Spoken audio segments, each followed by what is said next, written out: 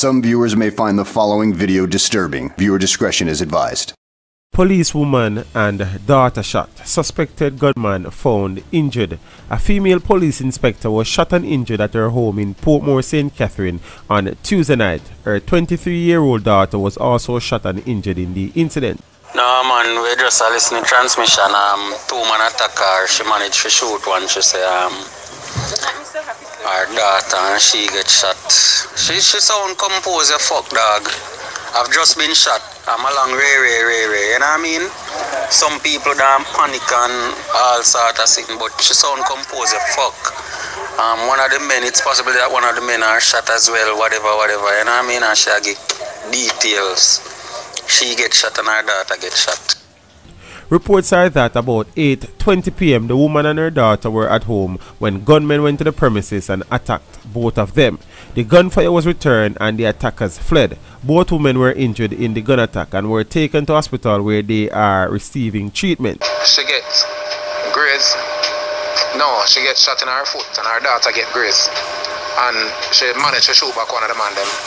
We're gonna hide in the bush. But them boy find find him in the bush. I don't know if him dead.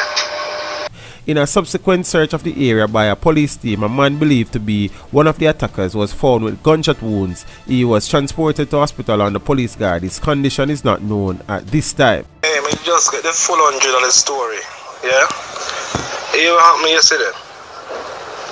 The police woman, man, or husband kill one boy yesterday and Nago said that in a Portmore Zane.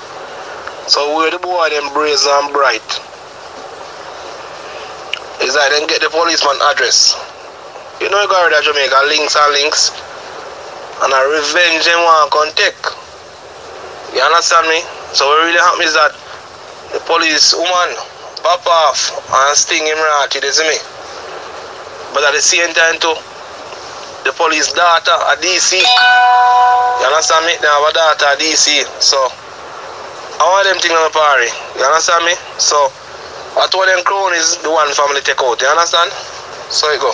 As a result of this latest attack and recent attacks against members of the police force, the JCF has um, raised the threat against police officers to extreme.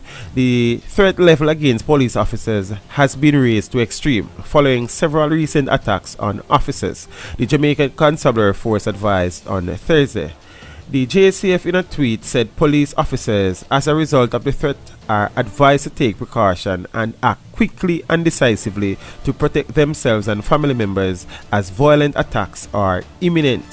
The raised threat level comes on the heels of Tuesday night's gun attack against a female police inspector at her home in Portmore, St. Catherine. The policewoman and her daughter were shot and injured by a gunman in the incident. Last week, Constable Nicaldo Green, 29, was shot and killed as he entered his home in uh, Greater Portmore, St. Catherine.